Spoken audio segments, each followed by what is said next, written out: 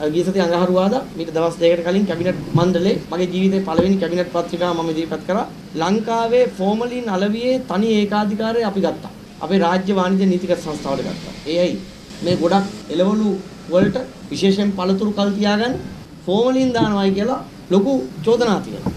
ඒ නිසා මෙය නියාමනය කරන එක අපි අපේ අමාත්‍යාංශයට